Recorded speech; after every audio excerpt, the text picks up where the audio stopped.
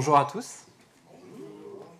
Je suis vraiment content ce matin de, bah, déjà d'une part de pouvoir être parmi vous, d'être devant vous aussi en ce dimanche. Merci au Seigneur pour euh, vraiment cette grâce, cette, ce temps de louange. Je ne sais pas si, si vous, ça vous a fait du bien, mais moi personnellement, ça m'a ça ça vraiment restauré, ça m'a fait du bien et c'est toujours bon de passer un, un temps important dans la louange parce que la louange est importante pour nous. Amen. Je vais également saluer toutes les personnes qui nous regarderont peut-être ce matin. Voilà. Toi qui es derrière ton écran, sois le bienvenu même si tu n'es pas là, mais sache que nous te saluons et nous pensons à toi. Ce matin, ce que je voulais vous partager et ce que le Seigneur a, déposé sur mon cœur, c'est euh, le, thème suivant, j'ai envie de dire même la question suivante. Sommes-nous au rendez-vous pour le Seigneur? Alors, je vois que vous êtes au rendez-vous ce matin, Amen, parce que vous êtes nombreux ici. Mais Seigneur a vraiment touché, touché mon cœur au travers de cette question, et, pendant que je méditais, j'ai vraiment su cette question, es-tu au rendez-vous pour moi? Et euh, avant de commencer de, rentrer dans, les deux pensées fortes de, de cette question, je vais vous poser la question suivante. Est-ce que vous avez déjà manqué un rendez-vous médical? Quand le médecin vous donne un rendez-vous, est-ce que vous y allez Est-ce que vous y allez pas? Jamais de rendez-vous? T'es chanceux. Bah écoutez, moi je vais vous dire, personnellement, j'ai manqué un tel nombre de rendez-vous médicaux. Combien de fois j'ai eu de, de, des recommandations de prise de sang et je ne suis pas allé faire ma prise de sang À chaque fois, ma femme me dit prends rendez-vous, prends rendez-vous. Je pose la feuille et puis bah, je prends pas rendez-vous. Mais je vais vous poser aussi une deuxième question. Est-ce que vous avez déjà vécu l'expérience d'un rendez-vous hyper important pour vous et malheureusement le rendez-vous n'a pas lieu? Je me suis permis de, mettre qu'on vous pose un lapin puisque c'est un peu la signification. Mais est-ce que ça vous est déjà arrivé de dire vous attendez avec une telle importance un rendez-vous et puis bah, tout compte fait la personne ne vient pas? Et la petite image parce que j'aime beaucoup la nourriture. Un ami m'invite pour manger une pizza, parce que la pizza, c'est tellement important. Cet ami m'invite, il me convient à manger une pizza, et puis au dernier moment, il me dit Non, mais écoute, Landry, il n'y aura pas de pizza ce soir, ou pas de pizza ce midi. Je vais vous dire quel est le sentiment que vous pourriez recevoir par rapport à ça, quel sentiment vous pourriez avoir? Personnellement, je pourrais avoir de la tristesse, parce que la pizza, j'aime beaucoup la pizza, même si je ne suis pas italien et, mais aussi énormément de frustration parce que je me suis dit, mais mince, je vais manger une très bonne pizza. En plus, je suis sûr, il l'a préparée avec amour. Et puis, je vais pas pouvoir y avoir le droit. Et euh, en réfléchissant à, à, cette question, je me suis dit, mais quel est le, sentiment que peut ressentir le Seigneur? Qu'est-ce que peut ressentir notre Dieu si nous manquons le rendez-vous qu'il nous donne? Moi, je remercie le Seigneur parce que ce matin, vous avez eu un rendez-vous et vous êtes venu au rendez-vous. Mais quelle aurait été l'attitude ou le, sentiment du Seigneur si ce rendez-vous ce matin, vous ne l'aviez pas pris, vous ne l'auriez pas honoré? Et euh, vous savez, on est tellement imparfait qu'on manque énormément de rendez-vous avec le Seigneur. Là, je vous parle de ce rendez-vous de ce matin, mais finalement, on peut avoir un tel nombre de rendez-vous avec le Seigneur. Ça peut être le matin quand tu te réveilles, ça peut être le jeudi soir, ça peut être peu importe l'occasion, mais on, peut tellement manquer de rendez-vous avec le Seigneur, mais on a tellement un Dieu merveilleux parce que lui, il est toujours là pour nous, il aura toujours sa main tendue vers nous. Et vous savez, la bonne nouvelle, c'est que même si nous, nous sommes imparfaits, dans nos prises de rendez-vous, en tout cas dans le fait d'honorer nos rendez-vous, le Seigneur, lui, il est juste et fidèle pour nous pardonner. Parce que même si nous manquons le rendez-vous que Dieu nous donne, sa main sera toujours tendue vers nous. Et euh, pendant qu'on chantait le, le dernier chant, on disait Tu es mon rocher la force sur laquelle je m'appuie. Et euh, vous savez, le rocher ne bouge pas. Le rocher ne bouge pas, il est là. Mais si tu ne viens pas au rocher, le rocher ne peut pas t'aider. Donc Jésus est là, si tu ne viens pas à Jésus, le Seigneur ne pourra pas t'aider. Donc je vais vous partager le, texte principal qui va, comment dirais-je, euh, guider un peu le fil conducteur de, de cette prédication. Le texte se trouve dans Matthieu 4, versets 18 à 22, et je vais vous rappeler un peu de contexte. Euh, ce texte, c'est que Jésus venait d'être baptisé par Jean-Baptiste, et ensuite l'Esprit de Dieu a conduit Jésus dans le désert afin d'y être, tenté, et Jésus y resta pendant 40 jours et 40 nuits. Et à la fin, seulement à la fin, au 40e jour, Satan se mit à tenter Jésus trois fois, mais Jésus, s'appuyant sur la parole de Dieu, en disant qu'il est écrit, l'ennemi n'a pas pu le tenter. Voilà, et donc, c'est affiché. Donc voici ce que nous dit Matthieu 4, versets 18 à 22. Un jour qu'il marchait au bord du lac de Galilée, il vit deux frères, Simon qu'on appelle aussi Pierre et André son frère, qui lançaient un filet dans le lac, car ils étaient pêcheurs. Il leur dit, Suivez-moi, et je ferai de vous des pêcheurs d'hommes. Ils abandonnèrent, et j'ai souligné aussitôt leur filet et le suivirent. Prenons bien attention à aussitôt. Ensuite, poursuivant son chemin, il vit deux autres frères, Jacques, fils de Zébédée, et Jean, son frère. Ils étaient dans leur bateau avec Zébédée, leur père, et ils réparaient leur filet.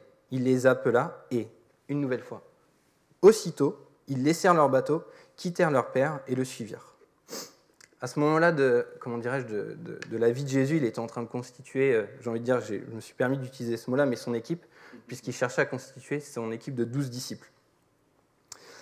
Et en méditant sur ce texte, je me suis dit, mais regardons l'attitude qu'ont les, futurs disciples. Jésus vient à leur rencontre, puisqu'ils sont en train de marcher, il croise deux personnes, il leur, fait une proposition. Quelle était l'attitude des disciples? Est-ce qu'ils ont suivi Est-ce qu'ils n'ont pas suivi? Et j'ai envie de dire, quand on voit le texte, ils n'ont même pas cherché à raisonner. Combien de fois, nous, quand on nous fait des propositions, on cherche à raisonner? Oui, mais peut-être qu'on trouve toujours une excuse, enfin, il y a toujours quelque chose qui ne va pas. Mais quand on regarde l'attitude des, futurs disciples, ils n'ont même pas raisonné. Quoi. Ils ont aussitôt quitté tout ce qu'ils faisaient, ils ont suivi Jésus. Combien de fois le Seigneur parfois nous encourage à faire des choses, ou en tout cas nous demande de faire des choses, nous pousse à faire des choses, euh, que ça peut être euh, le dimanche matin, au travers de peut-être de pensées que, que, les frères et sœurs peuvent recevoir, de, paroles de la part du Seigneur. Et combien de fois, j'ai envie de dire, on loupe l'occasion de transmettre ce que le Seigneur nous a donné pour son peuple. Et avant de rentrer dans vraiment la première pensée de ce point, est-ce que nous, nous aurions fait comme les disciples? Est-ce que moi, Landry, je me mets en premier, puisque c'est moi qui vous parle ce matin, et le Seigneur m'a parlé au travers de ce message? Est-ce que moi j'aurais fait comme les disciples et j'aurais quitté mes activités et je l'aurais suivi? Parce que Jésus est venu, si je me mets à la place des disciples, Jésus vient à ma rencontre, Jésus me fait une proposition, est-ce que j'aurais tout quitté pour le suivre Je ne sais pas, je ne sais même pas vous répondre et je pense que ça aurait été compliqué. Voilà, donc peut-être que vous avez la réponse, merci Seigneur, mais c'est très important de dire, quand le Seigneur nous parle et que le Seigneur veut quelque chose pour nous, de ne pas manquer, j'ai envie de dire, l'appel que le Seigneur a pour nous. Amen. Première pensée de, cette, cette exhortation. Pourquoi être à la rencontre du Seigneur ou ne pas manquer notre rendez-vous? Pourquoi être à la rencontre du Seigneur ou ne pas manquer notre rendez-vous avec lui Et euh, avant de rentrer plus dans le détail de cette pensée, et dans, j'ai envie de dire, trois sous, peut-être sous-pensées, si je puis dire comme ça, mais je voulais vous rappeler une, vérité importante, c'est que euh, dès le commencement, Dieu s'est manifesté, il est venu à la rencontre des hommes. Vous le savez? Dès le début de la Bible, donc dès la Genèse, on peut voir que Dieu s'est manifesté auprès des hommes et qu'il est venu auprès des hommes.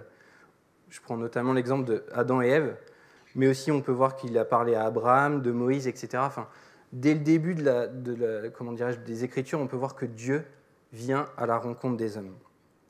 Et si je pousse un peu plus ce raisonnement, Dieu est allé même encore plus loin, puisqu'on peut voir qu'au début, il se manifestait par l'Esprit. Mais jusqu'à un moment, il est venu, il s'est fait chair pour venir à notre rencontre. Il est venu nous voir, en tout cas par rapport à la parole, il s'est fait chair et il est venu voir les hommes de façon physique, au travers de Jésus. Et pourquoi il est venu au travers de Jésus? Parce qu'il est venu pour rétablir la connexion qui a été cassée entre Dieu le Père et l'homme. Et cette connexion s'est cassée comment? Au travers du péché de Adam et Ève lors euh, de leur présence dans le jardin d'Éden. Et vous savez, c'est au travers du sacrifice de Jésus, comme le disait euh, notre frère Cyril tout à l'heure, que, que nous sommes pardonnés. C'est au travers du sang de Jésus qui a coulé sur la croix que nous sommes pardonnés de nos fautes et pardonnés de nos péchés. Et vous savez que au travers de ça, Dieu a toujours toujours fait le premier pas vers nous. c'est quand même fort de se dire qu'il a donné son propre fils, son unique, donc il s'est fait chair, il est venu sur terre, et uniquement pour, euh, j'ai envie de dire moi, Landry, un simple humain, il a quand même donné sa vie pour moi, pour que je sois sauvé, et pour qu'un jour, si je fais sa rencontre, je puisse être euh, avec lui. Amen. Je vous pose une question avant de faire une, petite pause boisson, mais est-ce que vous qui êtes euh, croyants ce matin, pour ceux qui ont déjà fait la rencontre du Seigneur, est-ce que vous vous souvenez du, jour de votre rencontre avec le Seigneur ou avec le Saint-Esprit? Je vous laisse quelques secondes, je m'éclipse, on me voit plus, on me voit. Est-ce que vous vous souvenez d'une rencontre forte avec le Seigneur, avec le Saint-Esprit? Est-ce qu'il y a quelque chose dans votre vie un jour qui vous a marqué? Je me dis, mince, Seigneur, tu m'as parlé. Moi, je vais vous livrer une, j'ai envie de dire, un petit historique sur moi, même s'il n'est pas très grand, parce que je ne suis pas bien vieux. Mais moi, j'ai un souvenir fort d'un temps particulier où j'ai eu l'occasion de rencontrer le Saint-Esprit. Alors, j'étais adolescent à l'époque. Maintenant, je ne suis plus. Euh, mais euh, j'ai eu un temps particulier avec un frère. C'était un, frère euh, avec qui j'aimais beaucoup parler, avec mes parents, avec qui ils ont beaucoup parlé. On a vécu beaucoup de choses avec eux. Et un, soir, on va chez eux et, du coup, il m'invite à aller dans son bureau pour passer un temps de prière avec lui. Bon, déjà, bon, adolescent, passer du temps de la prière avec, avec notre ami, ouais, bon, ok. Mais je vais quand même à ce rendez-vous et je prends part au rendez-vous. Et bien, vous savez quoi? Ce jour-là, ce soir-là, j'ai fait la rencontre du Saint-Esprit. Le Saint-Esprit est venu dans ma vie. Et juste pour aussi, euh, si je puis me permettre, vous motiver, mais à ce moment-là, je n'étais pas encore passé par les eaux du baptême. J'allais m'y engager euh, peu de temps après. Mais avant même de passer par les eaux du baptême, et comme quoi c'est possible, si tu n'as pas encore fait ce choix de, suivre le Seigneur et de, passer au travers des eaux du baptême, c'est possible que tu aies une rencontre spécifique avec le Saint-Esprit. Et euh, parce que dans tous les cas, c'est le Saint-Esprit qui nous convainc de péché, de justice et de jugement. Et c'est lui qui vient toucher nos cœurs, parler à nos cœurs et susciter en nous ce désir de dire Seigneur, je veux faire ta rencontre. Si quelqu'un ce matin n'a peut-être jamais fait la rencontre avec le Seigneur, n'a jamais eu cette occasion peut-être de, de, rencontrer le Seigneur, demande-lui de venir à ta rencontre. Parce que le désir du Seigneur, c'est que tu sois sauvé. Et juste pour finir mon histoire, voilà, ce moment était tellement puissant, j'ai senti mais la présence du Seigneur tomber sur moi. Vous imaginez si j'avais loupé cette, euh, cette occasion de, pouvoir passer un temps dans la prière La rencontre avec le Saint-Esprit, j'aurais peut-être fait, certes plus tard, mais à ce moment-là, le Seigneur avait quelque chose de bien particulier pour moi parce qu'il savait que j'allais passer par des épreuves et d'autres. Et si nous manquons chaque occasion que le Seigneur nous donne de pouvoir être béni, on peut passer au travers de choses, on peut louper de choses merveilleuses. Et euh, voilà, vraiment, je veux vraiment vous laisser cette pensée d'introduction de ce point, c'est que à chaque instant de ta vie, mon frère, ma sœur, à chaque instant de ta vie, mon ami, visiteur, tu peux rencontrer le Seigneur. Il n'y a pas une occasion que le Seigneur peut manquer pour que tu puisses le rencontrer. Parce que lui sera toujours là à ta disposition. il faut vraiment que ton cœur soit sensibilisé et ouvert pour le recevoir. Amen première sous-pensée de cette grande pensée, eh bien, c'est la suivante. Pourquoi être à la rencontre du Seigneur? Ben, Afin de faire la rencontre merveilleuse du Seigneur. Amen. Et pour détailler cette, idée, c'est que je vais vous partager le texte suivant qui se trouve dans Luc 23, versets 39 à 43, dans la version Bible du Semeur, et il nous est dit, donc là par contre, on arrive, j'ai envie de dire, si on reprend par rapport au premier texte, on arrive vers la fin de vie de Jésus, euh, et c'est au moment où Jésus donc, euh, arrive à être cloué sur le croix. Il a été jugé par les hommes et du coup il a été décidé que Jésus soit cloué sur la croix. Et donc le texte nous dit, l'un des deux criminels attaché à une croix l'insultant en disant, N'es-tu pas le Messie? Alors sauve-toi toi-même et nous avec. Il est quand même, euh, il est au taquet ce monsieur. Mais l'autre, puisqu'ils étaient deux, il y avait deux brigands, deux brigands aussi attachés à une croix avec Jésus. L'autre, par contre, lui dit, donc il lui fit des reproches en disant, Tu n'as donc aucune crainte de Dieu, toi. Et pourtant tu subis la même peine, la mort sur la croix. Pour nous, ce n'est que justice. C'est-à-dire qu'il reconnaît qu'il a commis une faute, il a, commis un péché, et c'est pour ça qu'il a été jugé et qu'il est attaché sur une croix. Et ça, c'est important. Nous payons pour ce que nous avons fait, mais celui-là n'a rien fait de mal. Puis il ajouta, Jésus, souviens-toi de moi quand tu viendras régner. Crois que j'ai souligné, souviens-toi de moi. C'est ça. Vraiment, euh, oui, c'est ça. Et Jésus lui répondit, vraiment, je te l'assure, aujourd'hui même, tu seras avec moi dans le paradis. C'est pas fort? Moi, c'est vrai qu'en reméditant ce texte, en préparant le message, je me suis dit, mais waouh, c'est fou quand même. Ils sont, ils sont deux sur la croix, il y a Jésus à côté. Quand même, c'est un moment très particulier, puisque c'est la fin de la vie. Et encore une nouvelle occasion où Jésus vient à la rencontre des hommes et auparavant, on voit que Jésus fait la, dernière prière auprès de Dieu, etc. Et au moment de cette rencontre, il y a quand même cette opportunité qu'un des deux a saisie pour pouvoir faire, j'ai envie de dire, pour accepter le Seigneur Jésus dans son cœur. Et là où je veux attirer euh, vos regards et vos pensées, c'est que, en fait, il a reconnu ses fautes. On est d'accord? Il a dit qu'il reconnaissait euh, qu'il était, euh, était pécheur et que c'est pour cela qu'ils étaient jugés. Et je me permets de faire un parallèle avec le, le message que nous a apporté le pasteur Mathias dimanche. C'est que bien souvent, les âmes viennent à la rencontre de Jésus pour la guérison. Tu me dis hein, si je me trompe par rapport à ce que tu as apporté, mais non, c'est ça. Et il a aussi dit, Mathias euh, nous a aussi partagé que Jésus pardonne des péchés pour que les âmes soient sauvées et qu'ensuite elles puissent avoir la guérison. C'est-à-dire que la, transformation, la conversion sert par la suite de euh, confirmation au travers de la guérison, si je puis dire. Mais quand, on regarde ici, c'est que ce qu'on peut aussi se poser, c'est mais comment se fait-il qu'un des deux euh, soit aussi convaincu que Jésus euh, soit, bon, en fait? Et en, en, creusant un peu le sujet et en réfléchissant, je pense que ce brigand, a forcément dû entendre parler de Jésus au moins une fois. Au moins une fois. Il a forcément dû entendre parler de Jésus. À quel moment, on ne sait pas.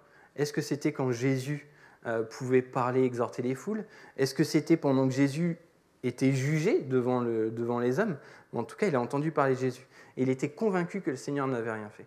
Il était aussi également convaincu, au travers de la reconnaissance de ses fautes, que Jésus pourrait le sauver. Amen. Et peut-être que ce matin, tu, voilà, comme je disais, il y en a qui n'ont jamais fait la rencontre, mais sache que le Seigneur peut toucher ta vie si tu lui demandes de venir à toi et que si tu reconnais que tu es pécheur. Parce que de nature humaine, nous sommes pécheurs.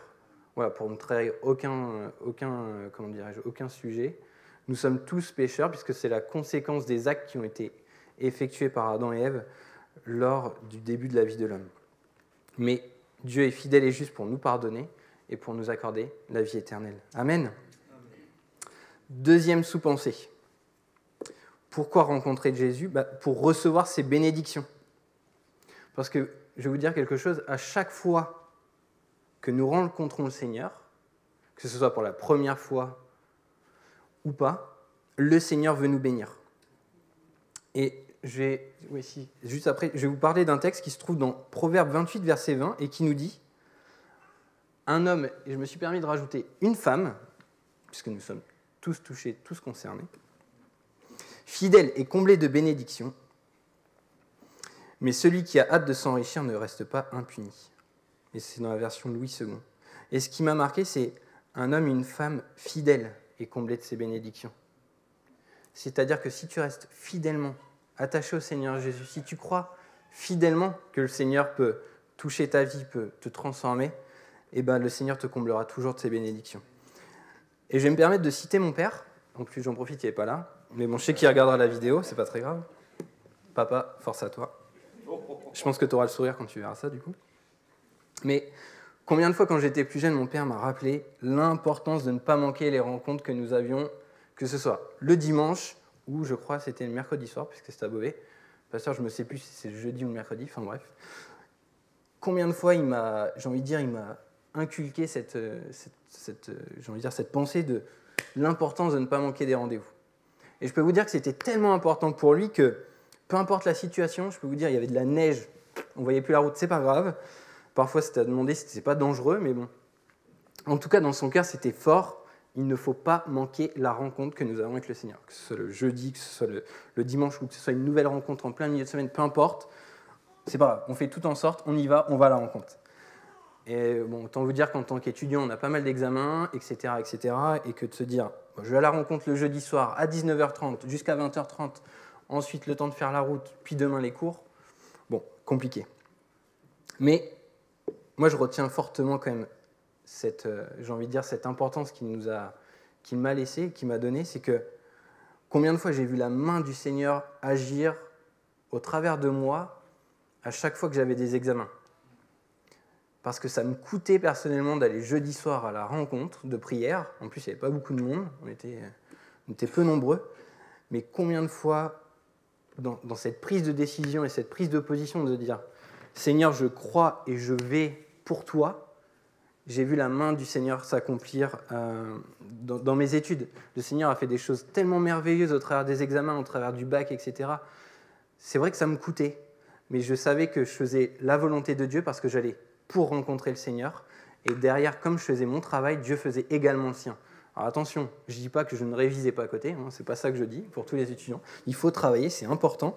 Mais il faut savoir une chose, c'est que quand nous faisons notre part du travail, Dieu fait sa part aussi. Faut pas l'oublier. Si je me consacre à Dieu et que je travaille à côté, dans tous les cas, Dieu ouvrira les portes et Dieu accordera ses bénédictions. Amen. Et, euh, du coup, pour vraiment euh, appuyer cette pensée, de dire que je crois vraiment que Dieu peut agir, je ne l'ai pas affiché, mais je vous partage un texte qui se trouve dans Hébreu 11, verset 6, et qui nous dit Or, sans la foi, il est impossible de lui être agréable. Car celui qui s'approche de Dieu doit croire qu'il existe et qu'il récompense ceux qui se tournent vers lui. Amen Je vous le relis parce qu'il est important. Or, sans la foi, il est impossible de lui être agréable. Car celui qui s'approche de Dieu doit croire qu'il existe et qu'il récompense ceux qui se tournent vers lui.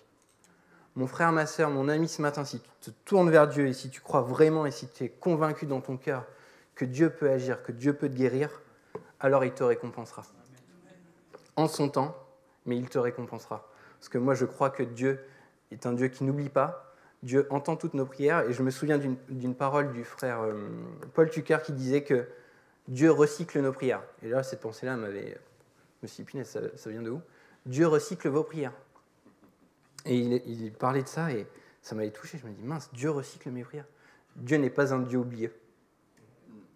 Tout ce que vous demandez au Seigneur, il le sait. Il a un disque dur de malade. Hein, aujourd'hui, je ne sais même pas où on pourrait stocker toutes les prières de tout le monde. Je pense que les plus gros serveurs du monde seraient peut-être même trop petits. Mais Dieu n'oublie pas et Dieu recycle nos prières. Amen. Troisième sous-pensée avant de passer à la deuxième grosse pensée. Je structure. J'espère que ça va, c'est pas trop, trop compliqué. eh bien, pourquoi nous venons aussi à la rencontre du Seigneur Mais c'est pour pouvoir être formés pour le servir. Amen. Parce que quand nous venons à Dieu, il veut nous former. Et je fais le parallèle par rapport au thème du bimestriel. Comment l'Église peut-elle forte si elle n'assiste pas aux entraînements fixés par le Seigneur?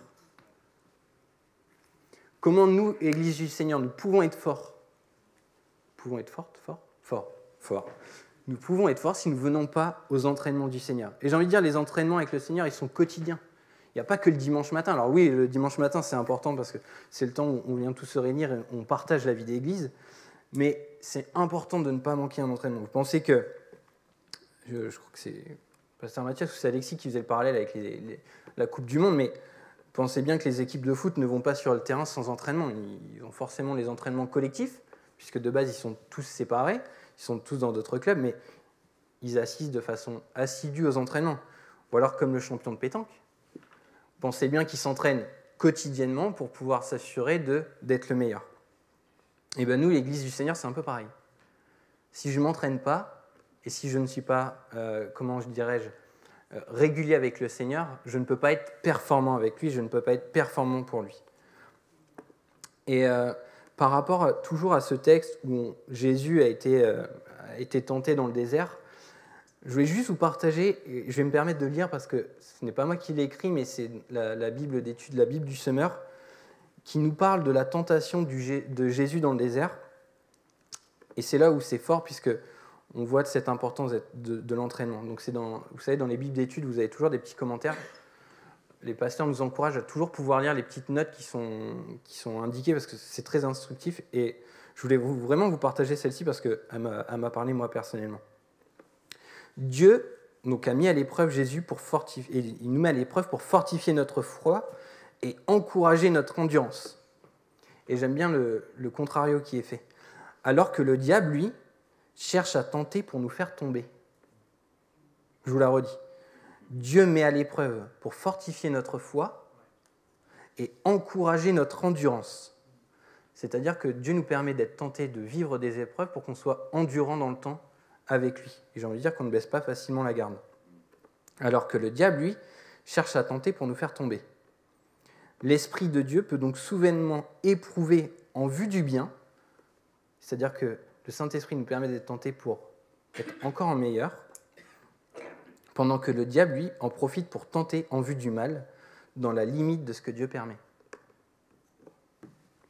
Et euh, je vous avoue, quand j'ai lu cette note, je me suis dit, c'est très fort quand même.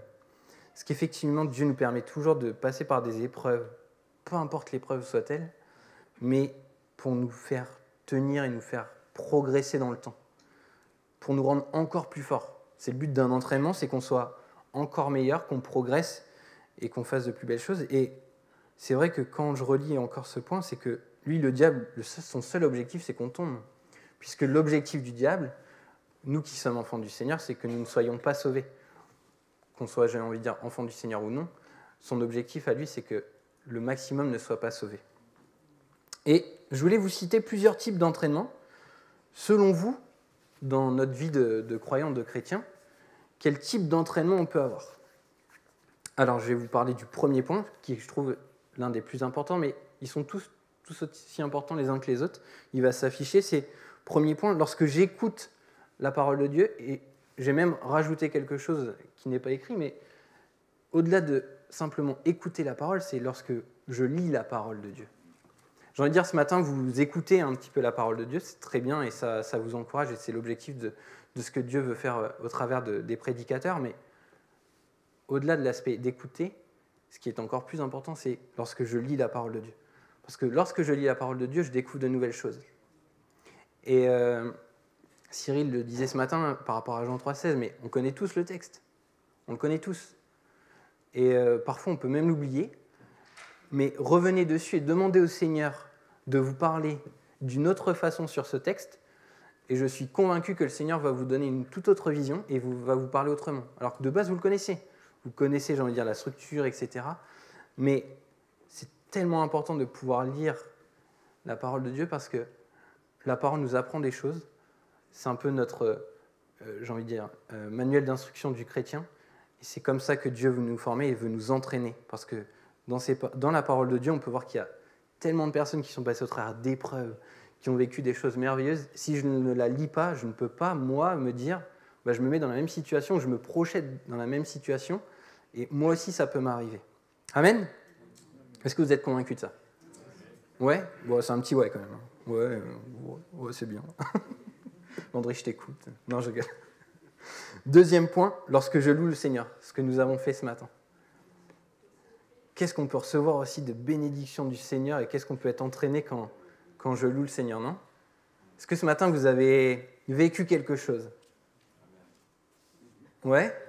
Ouais, bof, euh, c'était top. Euh, non, pas top. Mais c'est tellement important. Et la louange, c'est pas que le dimanche matin. La louange, ça peut être aussi chez vous avec un, fond musical. Euh, j'ai envie de dire, un fond musical, pas forcément même avec des paroles. Rien que mettez juste un petit fond sonore de, soit de piano, parce que le, seigneur, euh, le pasteur fait de, très beaux, euh, de très beaux CD euh, de fond avec pour le piano. Je fais de la pub, j'en profite, qui est disponible du coup à la librairie. Mais rien que ça, un petit fond musical et un temps de prière avec le Seigneur. Et vous allez voir la puissance du moment.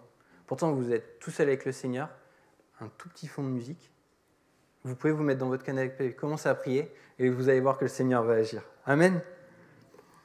Troisième type d'entraînement, je pense qu'il y en a plein d'autres et il y en aura un quatrième, mais lorsque je prie, lorsque je parle au Seigneur, j'avais déjà eu l'occasion d'apporter ça un jeudi soir, mais c'est tellement important de, prier.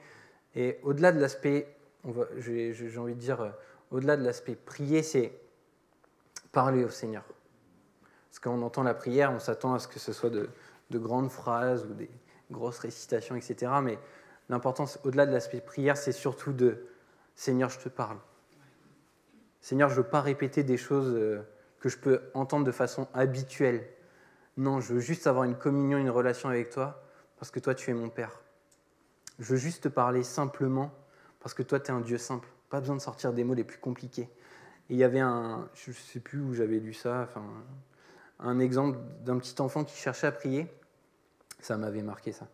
Et euh, comme il ne savait pas prier, ce qu'il a fait, c'est qu'il donnait les lettres au Seigneur pour que le Seigneur compose pour lui sa prière. Et en fait, c'est prier, c'est ça, c'est juste Seigneur, je veux te parler, je veux être à ta rencontre, je veux un échange avec toi.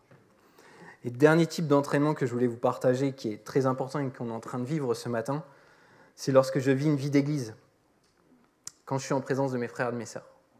C'est très important de vivre une vie d'église. Pourquoi c'est important de vivre la vie de l'église?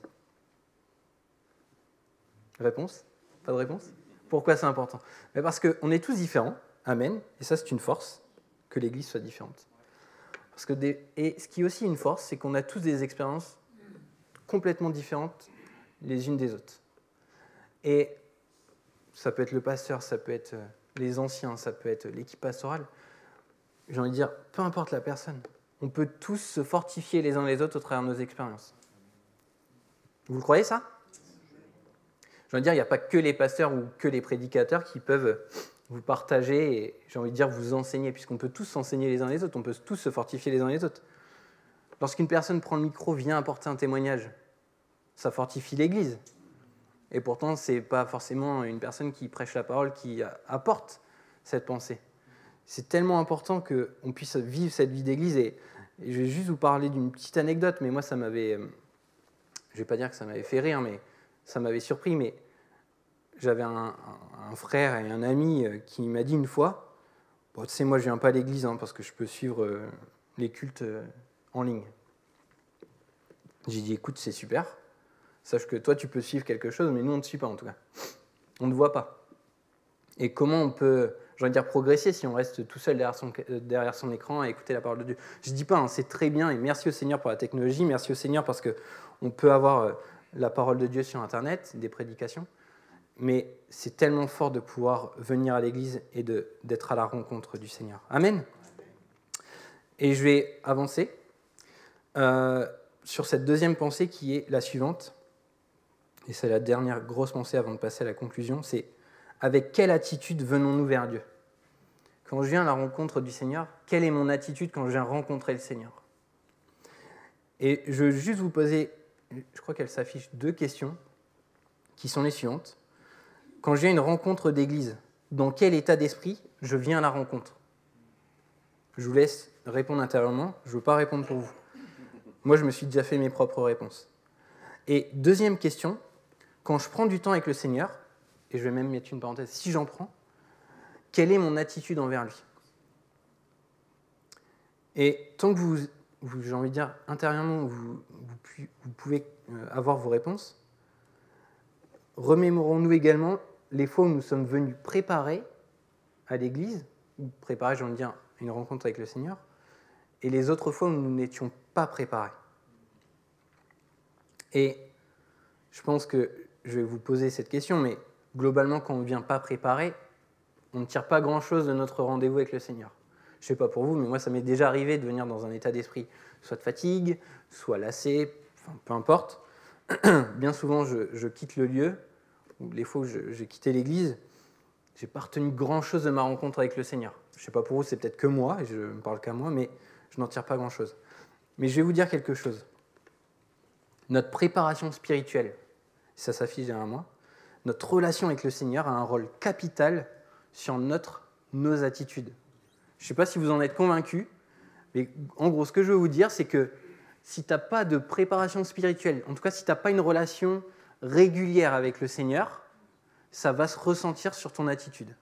Amen Alors c'est pas écrit dans la Bible, hein, c'est moi qui vous le partage, mais je trouve que c'est tellement fort de se dire, Seigneur, je dois avoir une relation quotidienne avec toi. Parce que c'est le Seigneur qui quotidiennement peut nous transformer et qui peut changer notre vie. Deux sous-pensées par rapport à ces attitudes. Premièrement, c'est qu'on peut avoir une attitude qui plaît au Seigneur. Amen. C'est-à-dire que quand je viens à l'église, quand je viens à la rencontre du Seigneur, j'ai une attitude qui plaît au Seigneur. Je viens parce que je désire recevoir de quelque chose du Seigneur et ce matin, je viens parce que je veux que le Seigneur puisse me toucher au travers de sa parole. Je veux que le Seigneur puisse me toucher au travers de sa louange. Je viens parce que euh, également, je, veux lui donner ma reconnaissance. C'est le but aussi de notre réunion de ce matin, c'est qu'on puisse donner toute notre reconnaissance au Seigneur et lui dire, Seigneur, merci pour la vie que tu me donnes. Merci Seigneur pour la santé que tu me donnes. Merci pour peut-être les finances, merci pour le travail, parce qu'il y a des personnes qui, qui peuvent avoir des difficultés et d'autres. Et c'est important d'avoir cette attitude de reconnaissance envers le Seigneur. Une autre attitude qui plaît au Seigneur, je viens parce que je désire aussi servir le Seigneur. Je ne sais pas si toi ce matin, tu as, le désir de servir le Seigneur, mais c'est tellement important de se dire, Seigneur, je viens ce matin pour te servir. Pas forcément au travers d'un service, je vous rassure, mais vous savez que vous pouvez aussi servir le Seigneur au travers bah, d'une attitude, d'une parole pour un frère ou pour une sœur, pour un geste, pour une attention. Et dernière attitude qui plaît au Seigneur, je viens parce que j'ai la conviction que le Seigneur veut m'enseigner. Je viens parce que j'ai la conviction que le Seigneur veut m'apprendre quelque chose. Je viens parce que j'ai la conviction que le Seigneur peut me transformer, que le Seigneur peut toucher ma vie. Amen. Croire que le Seigneur peut, euh, j'ai envie de dire, quotidiennement travailler ma nature de pécheur et me rendre, j'ai envie de dire, encore meilleur avec moins de péché. Amen. Et deuxième sous-pensée, avant de basculer sur la conclusion, mais c'est qu'on peut aussi venir avec une attitude qui attriste le Seigneur. On peut venir avec de très bonnes attitudes, de très bonnes pensées, et sans le vouloir, on peut venir avec une attitude qui attriste le Seigneur.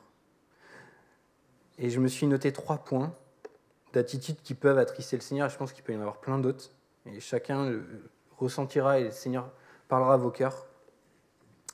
Et je me suis noté ces, ces pensées suivantes, c'est que je viens uniquement dans mon intérêt personnel, en espérant que le Seigneur me donne quelque chose que je veux absolument. C'est-à-dire que je viens que dans mon intérêt et je m'attends que le Seigneur impérativement me donne ça parce que je veux ça. Mais il faut savoir une chose, c'est que c'est pas parce que nous nous voulons quelque chose que Dieu veut forcément nous donner, parce qu'il sait si ce que nous désirons ardemment dans notre cœur est bon pour lui ou pas. C'est-à-dire que est-ce que cette chose que je désire ardemment va être mise à son service ou non? Est-ce que c'est uniquement pour ma propre gloire? Deuxième point, je viens mais sans conviction. Je viens juste pour rencontrer ou faire participer à la rencontre de ce matin. Et euh, sans penser que le Seigneur peut venir à ma rencontre ou me parler. Et en fait, indirectement, c'est une, pensée de religiosité, de superstition. C'est-à-dire que je viens, mais je ne suis, pas, suis pas convaincu. Et la dernière petite pensée, c'est que je viens également en pensant que je suis meilleur que les autres. Ou alors juste pour exposer mon talent. C'est-à-dire que je pourrais venir moi, derrière la batterie, puis je, vous montre comment je joue excellemment bien. Mais ce n'est pas le but. Parce que, juste pour euh, confirmer euh, ce que, le, ce que le Seigneur a fait, c'est que c'est Dieu qui m'a qualifié parce que quand j'ai pris les baguettes entre les mains, je ne savais pas jouer. Mais j'avais tellement cet ardent désir de servir le Seigneur que Dieu qualifie. Parce que Dieu qualifie. Dieu peut vous appeler à faire quelque chose. Vous ne pensez pas capable, mais Dieu peut vous rendre capable parce que Dieu est bien au-delà de nos espérances. Et le texte que je voulais vous partager par rapport à cette pensée du meilleur que les autres, c'est le suivant, se trouve dans Marc 9, verset 34. Et donc c'est un texte qui, c'est un échange entre les disciples. Et il nous dit, mais ils se taisaient, car durant le trajet, ils avaient discuté pour savoir lequel d'entre eux était le plus grand. Jésus s'assit, appela les douze et leur dit, si quelqu'un désire être le premier, qu'il se fasse dernier de tous et le serviteur de tous. Elle est forte cette pensée quand combien de fois on veut parfois être euh, paraître, mais en fait c'est tellement infime cette, euh, cette pensée d'être le meilleur. J'ai envie de dire le fil est tellement fin que c'est dur de rester humble et de dire Seigneur c'est toi qui, me, qui me fait être là où je suis ou qui me permet d'être là où je suis. Amen. Je vais conclure cette pensée, mais je voulais vraiment vous, encourager à ne pas manquer le rendez-vous. Et je ne veux vraiment pas parler que du rendez-vous du dimanche ou du jeudi soir. Mais ne manquons pas les rendez-vous que le Seigneur nous donne, ne manquons pas les occasions que nous avons pour rencontrer le Seigneur. Et je reviens par rapport à mon rendez-vous médical de tout à l'heure. Vous savez, aujourd'hui, c'est tellement compliqué d'avoir un rendez-vous chez le médecin. Je ne sais pas pour vous ou un spécialiste, mais vous êtes d'accord, c'est compliqué pour avoir un rendez-vous chez le dentiste, rendez-vous chez un allergologue, euh, etc. J'en passe et des meilleurs. Mais vous savez quoi? Il y a quelque chose que nous avons, j'ai envie de dire, de façon très simple, encore mieux que Doctolib, c'est que nous avons des rendez-vous sans saturation avec le Seigneur, puisqu'il est disponible 24 heures sur 24, 7 jours sur 7. Donc à n'importe quel moment de la journée, vous pouvez le contacter. Bon, par contre, vous n'aurez pas des rendez-vous 24 sur 24, 7 jours sur 7 via Doctolib, mais bon. En tout cas, sachez que le Seigneur, lui, il est quotidiennement disponible et à n'importe quel moment de la journée. Et euh, voilà, je vous encourage vraiment à, vraiment désirer ardemment de pouvoir rencontrer le Seigneur. Peut-être, voilà, je le redis, hein, si c'est pour la première fois, si tu veux faire sa rencontre, n'hésite pas à lui demander. Ne manquons pas les, les rendez-vous et, et c'est vraiment les deux pensées que je voulais vous partager ce matin, l'importance de ne pas manquer le rendez-vous que Dieu nous donne, mais également l'attitude que nous avons quand nous venons au rendez-vous pour le Seigneur. Amen. Écoutez, je vous invite à, à, baisser, à baisser nos têtes. Nous allons, nous allons prier. Peut-être Mathias, tu peux prendre euh, un petit fond, sonore. Et je ne vais, pas faire d'appel particulier ce matin, mais... Euh, chacun dans le fond de notre cœur, comment dirais-je, nous avons été euh, interpellés, moi le premier au travers de la préparation de ce message, à, l'importance du rendez-vous que le Seigneur peut nous donner. Et je, vais prier euh, pour chacun d'entre nous, mais vraiment que le Seigneur puisse nous parler. Que cette parole que le Seigneur a déposée sur nos cœurs puisse grandir et puisse germer. Merci Seigneur pour, euh, pour ce temps, Seigneur Jésus, de, de, de, de parole, de prédication, Père éternel. Merci pour, euh, Seigneur Jésus, euh, l'importance des rendez-vous que tu nous donnes, Seigneur Jésus. Aide-nous, Père éternel, j'ai envie de dire, aussi imparfait que nous sommes, Jésus, à ne, pas manquer les rencontres que tu nous donnes, Jésus. Aide-nous, Seigneur Jésus, à pouvoir quotidiennement être attaché à toi, Seigneur, à être quotidiennement près de toi, Seigneur Jésus. Père éternel, tu vois les cœurs, Seigneur, tu vois les vies, tu nous connais mieux que nous-mêmes, Seigneur Jésus. Viens parler à nos cœurs et viens toucher nos cœurs, Père. Vraiment que ton Esprit Saint, Seigneur, puisse convaincre, Seigneur, chacune des vies, Seigneur Jésus. Que ton Saint-Esprit, Seigneur, vraiment puisse parler à chacun d'entre nous. Vraiment que, que ton œuvre, Seigneur, puisse régner en nous, Jésus. Vraiment que tu puisses travailler nos attitudes, travailler nos cœurs, Père. Que lorsque nous venons à toi, Seigneur Jésus, nous puissions, Père, être dans une attitude, Seigneur, qui te plaît, Jésus. Aide-nous, Seigneur, à garder constamment, Seigneur, cette, cette pensée, Seigneur, ce, cette idée que nous devons te plaire et nous devons chercher à te plaire, Seigneur Jésus. Merci, mon Dieu, mon roi, pour toutes choses, vraiment que que tu puisses continuer à œuvrer parmi nous, Seigneur Jésus, que tu puisses vraiment faire de ton Église une Église forte, Seigneur, et puissante, Seigneur Jésus. Une Église, Seigneur, qui puisse faire trembler, Seigneur, l'adversaire. Et Seigneur, que tu puisses, au travers de cela, continuer de nous former, Seigneur, continuellement, Jésus.